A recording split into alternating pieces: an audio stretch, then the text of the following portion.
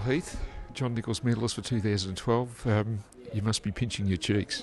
Yeah, I am actually. Uh, didn't didn't see it coming. I, I, honestly thought Eddie and even Brock their season both fantastic, and um, yeah, I, am just overwhelmed and, and, absolutely thrilled.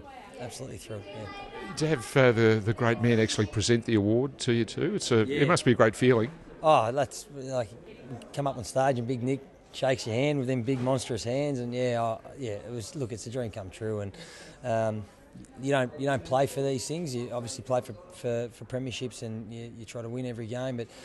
Um, you know, these are the things that, that, come along the way, and you don't ever expect them. And when they come, though, it's yeah. Look, like I said, it's it's the first one you know, I've had since under 15s or 16s or something. So uh, yeah, look, absolutely thrilled, and um, yeah, just stoked.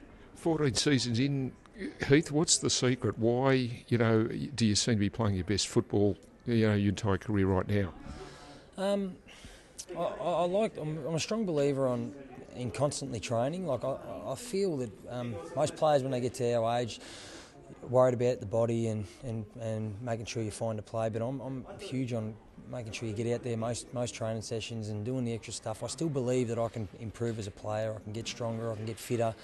Um, so I'm, I'm trying to achieve that most most sessions. I've got a, a, a, young, energetic playing group who, who are challenging me as well and trying to take my position. So they keep me on my toes. So I'm not going to hand it over my position e- easy either. So um, that makes me always try to perform and training track as best I can. And, and, and when I go out to game, I've, you know, I, like I said, I'm 32 and could, any game could be my last. So I, I want to make sure I'm playing as good as I can. And so far, it's been reasonably consistent. And um, yeah, that's I don't, I don't have a secret, but that's sort of what, what I, you know, I suppose what I sort of set out to achieve and how it sort of panned out.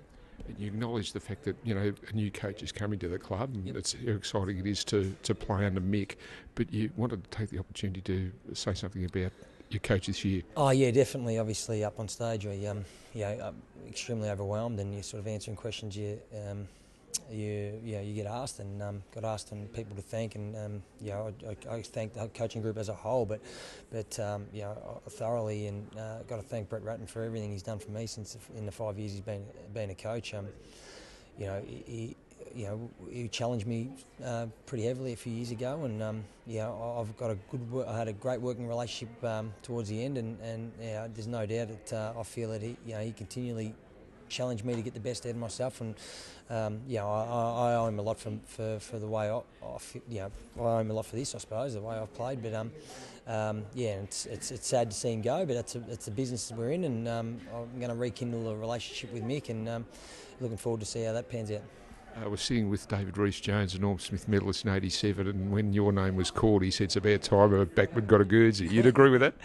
Uh, look, you know, um, uh, yeah, look, obviously most of the midfielders, obviously, and I'm a midfielder too, so I can, you know, most of the midfielders win most of the awards, but um, yeah, I'm, I'm, I'm, sort of half and half. So uh, a lot of the backmen say, well, he's really a midfielder, midfielder anyway. But um, yeah, look, I suppose to hear Rhys say that, uh, you know, is, is, a, is an honour, and um, yeah, I'm just, just thrilled. Yeah.